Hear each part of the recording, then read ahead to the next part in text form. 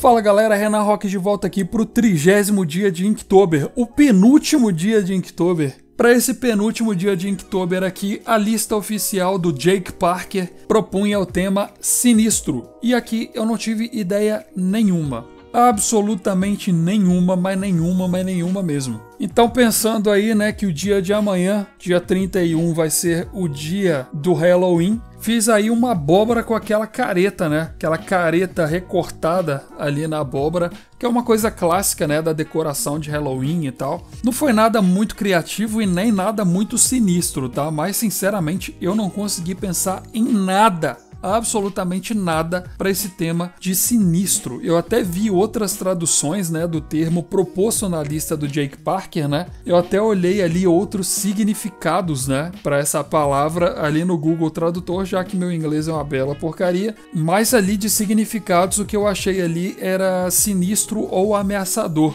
E mesmo assim, né, ainda no ameaçador, eu não consegui pensar em nada para esse trigésimo dia de Inktober. Nada, mais nada mesmo. Então coloquei aí em homenagem até ao Halloween, né, que teoricamente é uma coisa sinistra, essa abóbora aí com essa cara mais malvada. Depois que eu terminei o desenho que eu pensei, cara, podia ter feito aí, sei lá, saindo umas fumaças dos olhos e da boca dessa abóbora para ficar um pouco mais sinistro, um pouco mais ameaçador, um pouco mais uh, uh, amedrontador, mas não, acabou que eu já tinha feito o contorno e não dava mais para acrescentar esse tipo de coisa. Então acabei colocando uma fumacinha só lá atrás e ficou uma fumacinha muito mal feita também. Enfim, de todos os desenhos da Inktober, esse daqui, sem sombra de dúvidas, foi o que eu menos gostei. Mas espero que vocês tenham gostado então dessa minha abóbora, que era para ser sinistra, mas não ficou tão sinistra assim.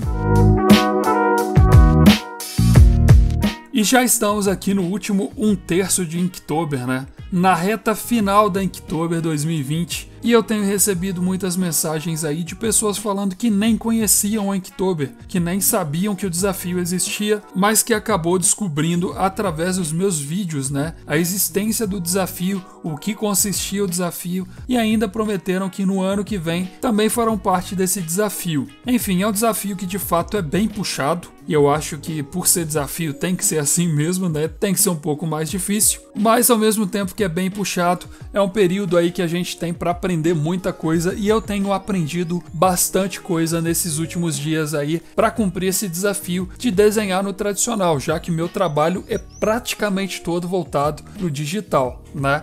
Enfim, a você que não participou desse desafio agora no ano de 2020, Vou recomendar aí que faça isso no ano que vem, porque é um momento de muito aprendizado, né? É um momento ali que você aprende a, por exemplo, afirmar mais o seu traço. É um desafio que te ajuda ali na parte de improvisação, né? Porque já que você não consegue fazer, por exemplo, um degradê perfeito com o marcador, você tem que emulá-lo de alguma outra forma, enfim. Fora também, né, que não tem o famosíssimo Ctrl Z. Então, se você faz um traço errado com a caneta Nankin, meu amigo, se vira, não tem muito o que fazer, né? Então, enfim, vou deixar deixar recomendado aí que vocês também façam parte da Inktober nos próximos anos, porque, cara, é um desafio sensacional.